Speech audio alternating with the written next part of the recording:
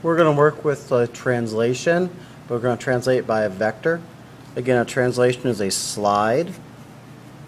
And we need to know how far and the direction we're sliding. And that is what the vector will tell us, how far and what direction. So here we have our triangle and we have a vector. It's an arrow and it has a direction. The direction is exactly that way.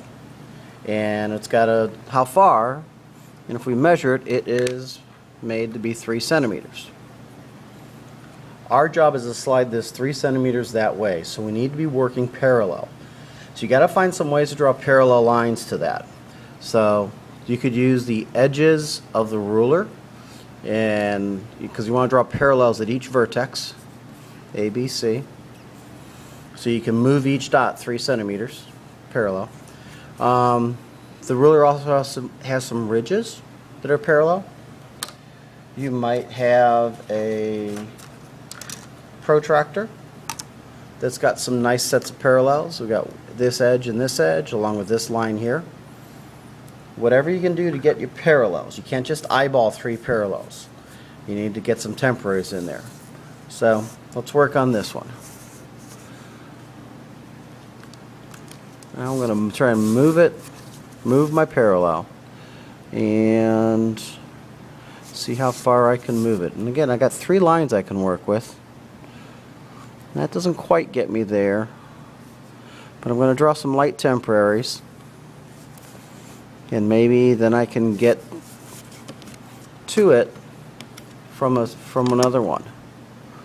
See, that gets me a little too far. But that almost gets me to B. So let's draw that temporary also. We're trying to draw we're trying to find a way to get to the corners and be parallel. Can I get to A? Well, too far to A. Oh, that's almost right on A. So, boom. There's one right at A. Now, can we go from A to get over here? That's going to be the next question. Can I go from this line? Yeah, didn't get me very much better.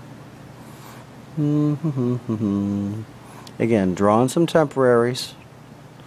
And again, that's all let you eyeball some stuff. But now the eyeballing is much better. You got all these lines to look at to make sure you are parallel. That is almost C. Oh, so close. Can I jump over to B? Yes, I can. Nope, not quite. But if we look at these lines, they are all parallel. So I'm at A, we need to get to B or C. That gets me a little far from C, but not quite to B. Closer to B. Doom, doom, doom, doom. Well, let's draw, let's draw past it. Let's see what we got. Maybe I can get them back to C with that one.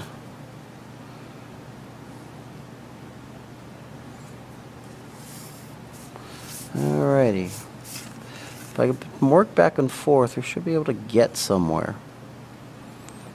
Oh, or, yeah, I said we can't eyeball, but at some point in time, we might have to rough one in. And it's so close to one that we can still see all the parallels and we got lines to, to judge by.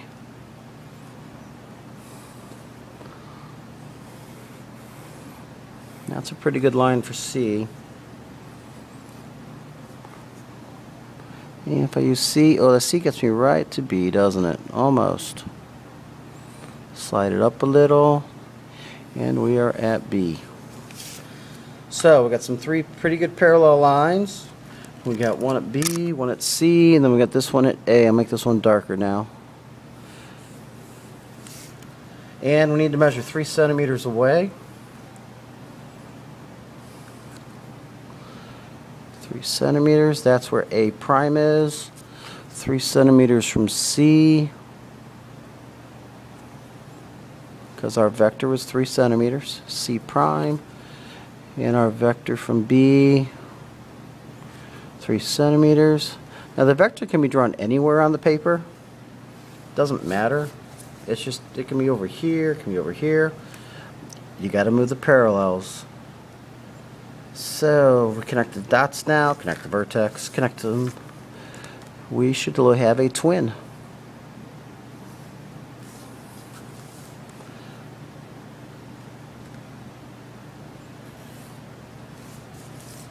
Pretty good. And other way to think about it, we just drew a triangular prism. We've got a 3D shape now, and that's what it should look like when you're done. It should look like a nice 3D shape. So we're sliding, and we're parallel. So we had a vector, we had to draw some lines parallel to there. Three ideally, but we're never going to get just three. So draw a bunch of temporaries to let you jump back and forth and get parallel.